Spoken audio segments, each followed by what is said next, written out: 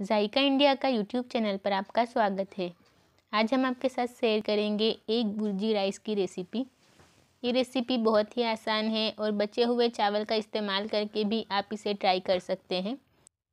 तो चलिए शुरू करते हैं। एक भुर्जी राइस बनाने के लिए हमने एक पैन में चार टेबल स्पून तेल लिया है।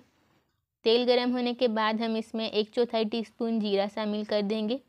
और जीरे के चटकने के बाद हम इसमें ऐड करेंगे प्याज। तो हमने मीडियम साइज़ की चार प्याज को बारीक काट लिया है। प्याज को हम ज़्यादा फ्राई नहीं करेंगे, बस ये थोड़ी सी सॉफ्ट होने लगे, तब तक हम इसे फ्राई करेंगे। अगर आपको बारीक कटे हुए अदरक और लहसुन का फ्लेवर पसंद है तो आप उसे तेल में थोड़ा फ्राई करने के बाद भी इसमें प्याज ऐड कर सकते हैं।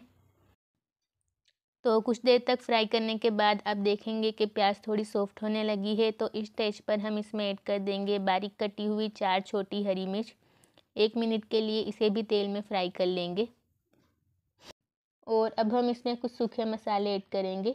स्वाद अनुसार नमक, हाफ़ टी स्पून जीरा पाउडर, एक चौथाई टीस्पून गरम मसाला, एक टीस्पून लाल मिर्च पाउडर और एक टीस्पून धनिया पाउडर। आप इसे कितना स्पाइसी रखना चाहते हैं, उस हिसाब से आप लाल मिर्च की क्वांटिटी कम ज़्यादा कर सकते हैं। और इसी के साथ हम इसमें बारीक कटे हुए टमाटर ऐड करेंगे। तो हमने दो मीडियम साइज़ के टमाटर को बारीक काट लिया है। अगर आप चाहें तो टमाटर कद्दूकस करके भी ऐड कर सकते हैं। और इसी के साथ हम इसमें एक टीस्पून अदरक और लहसुन का पेस्ट शामिल कर देंगे। और इन मसालों का कच्चापन दूर होने तक हम इनको लो फ्लेम पर थोड़ा भून लेंगे। मसालों का कच्चापन दूर होने तक हमने इसे लो फ्लेम पर दो से तीन मिनट के लिए भून लिया है। और स्टेज पर हम इसमें शामिल करेंगे चार अंडे।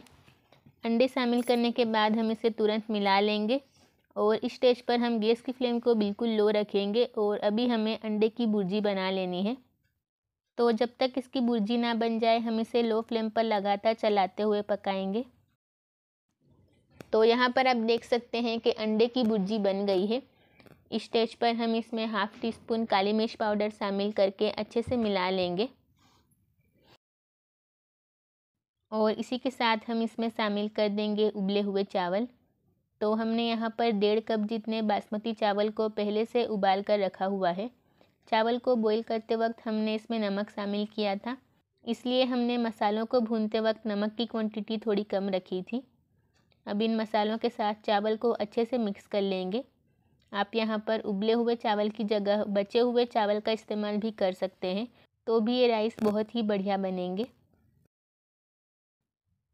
तो चावल शामिल करने के बाद हमने इसे लो फ्लेम पर तीन से चार मिनट के लिए पका लिया है। इसी के साथ हमारे एक भुर्जी राइस बनकर बिल्कुल तैयार है।